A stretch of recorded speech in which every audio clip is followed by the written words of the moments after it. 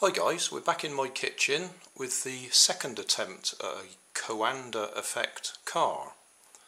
I'll show you the details after we've tried running it. So I'll switch it on.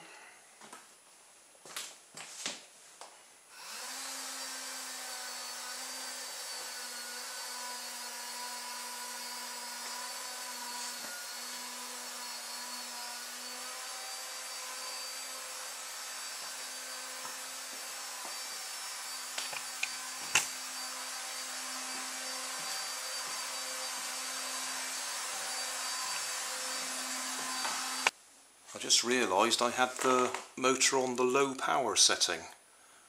So I've just switched it the other way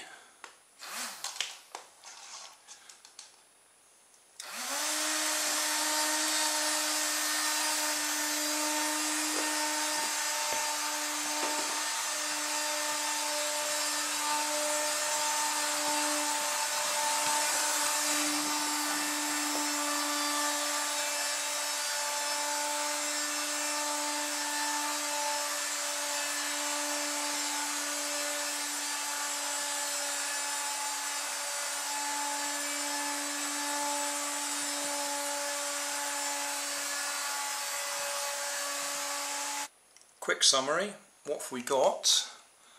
We've got a fan blade out of a small vacuum cleaner. It's actually a USB vacuum cleaner from the bargain store, cost me a pound. We've got the top off a plastic pop bottle and then we've got drinking straws for the chassis and CDs for wheels and barbecue skewers for the axles and so on. But the important bit is this fan, it pushes air out sideways. It's not driving itself through the air by normal propeller motion. What's actually happening is because it's pushing air out sideways, that's creating a low pressure area in front of the car and the car is drawn into the low pressure area rather than pushing itself along or pulling itself along. You'll have to have a look at the video description to find links to more detailed explanations of the Coanda effect. But that's what's happening. It's creating a low pressure area in front and the car is drawn into the low pressure area or pushed into it by the high pressure behind it.